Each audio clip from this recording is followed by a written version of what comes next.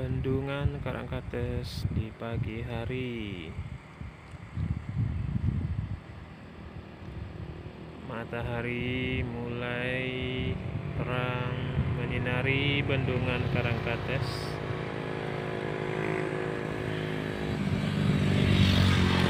Bendungan sudah mulai terisi lagi dengan air yang mana kemarin sempat surut pas musim kemarau sekarang sudah mencapai batas normal lagi. Inilah sumber air pam Tirta untuk bahan baku air. Dan juga di sini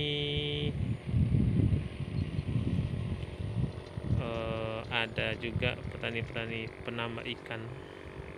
Ikan gabus, ikan mujair, ikan nila, ikan patin. Ya beginilah kondisinya guys. Ini kita lagi menuju ke kota Blitar.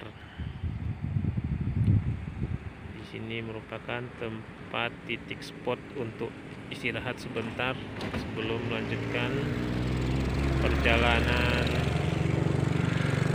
ke Blitar. Dari Malang. Ya sekian dulu guys.